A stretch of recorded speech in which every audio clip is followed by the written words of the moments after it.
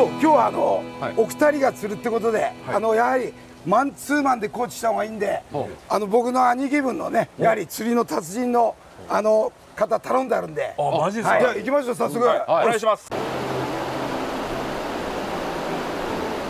およじゃあ行きますよ。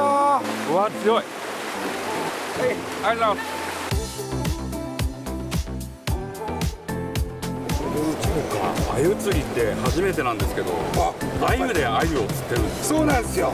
あのだから鮎で鮎を釣るからまあラブラブな感じ。ラブラブな感じ。鼻感、はい、やっぱ牛牛じゃないけど鼻にねあの鼻感でこう鼻にこう輪っこって。ね、はい、うまく操って、はい、よし。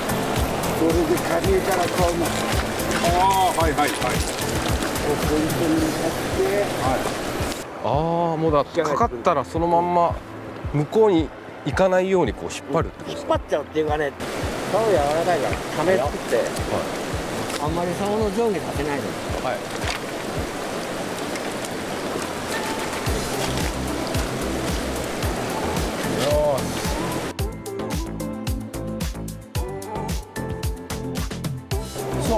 少しこうゆっくりねゆっくり。踊りに合わせてこう。あなんかちょっときますね。なんかビビッとくるでしょ、はい。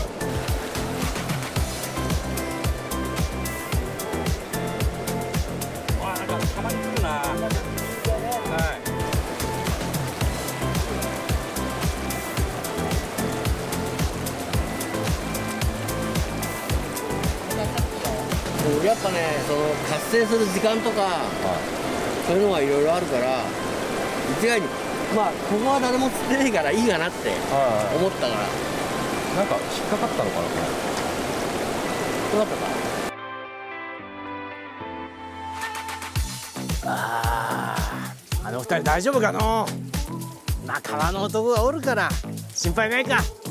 まあ私はここでくつろがせてもらう。あー冷た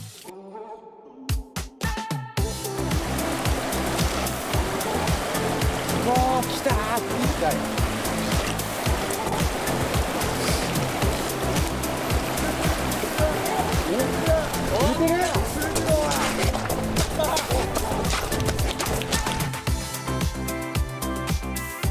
あったぞあお待たせしました。どうじゃどうじゃ成果はどうじゃ成果がですね、うん、ありました。おどどれぐらいどれぐらいはい。さん見せてあげてくださいよ。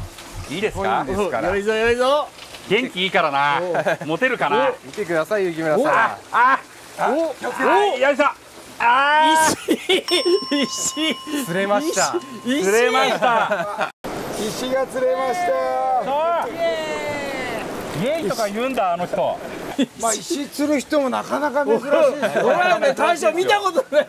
まあねやっぱねちょっと時間も短かったし、実はこれからなんですよ。なるほど。これからってとこでね。本来ね。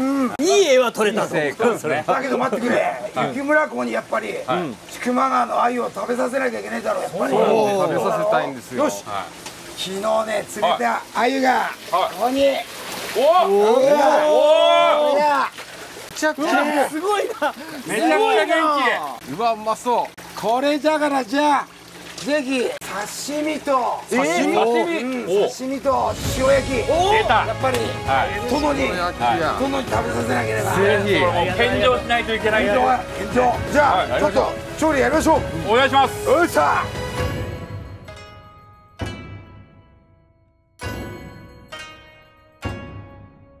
じゃあ。行ってみますか行きますか。はい。頼むよ。いや怖いなちょっと、えー、持ってったら今度こうグイッとこう、はい、自分の手刺さないでグサッといっちゃうのグサッと。はい今ちょっと出てます。ああ出てる。はい。おいった。クワにして。クワにして。クワによしそれで刺すんだ。あ指刺さねえな、はい、おおでもなんかおいいんじゃないすげえいい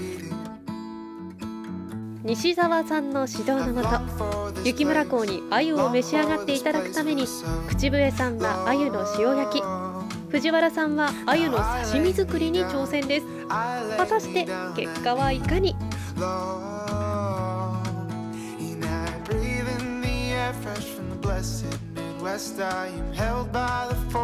さあ行ってみておやつください。来た来た来た。杉村さんはちょっとあの毒味しますんで先に。あそうか。そうですか。まず我々が確認させてもらいます。あありがとうありがとう、はいはい危険がありますすごいな。ねまあ、よくよく考えたらその調理してる人を前に毒味とかまあ失礼なからないんですがちょっと違和感もあったけどいただきますうんうんコリッコリですねお良さそうやな二人とも。あまだちょっとわさびわさび使ってないんで僕。まだわからない。んでわわさびの心配やから、すごい目の前にしながら視聴者と同じ気持ちやなお塩焼きおお来た。来た。来たきたあー美味しそう殿に殿に献上するのは殿にやっぱ食べてもらわなきゃ。まあそうですね。このこの係もやってくれる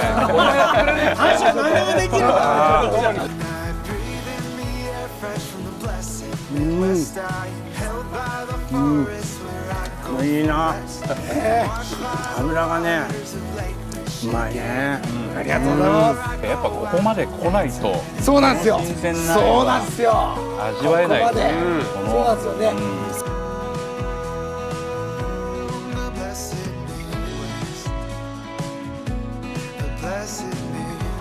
これが鮎ラーメンです。いやー鮎鮎がが2匹泳いでる。本当に。いた鮎がまるで丼が千曲川のように見えるぞ。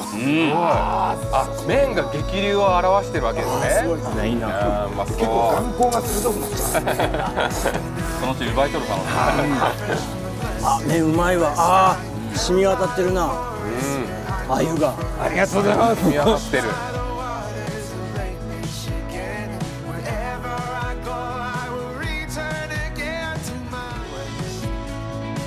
では皆の者いいね上田。夏の修行編、はい。まだまだ続く。お楽しみに。頑張るぞ。お楽しみ。頑張ってください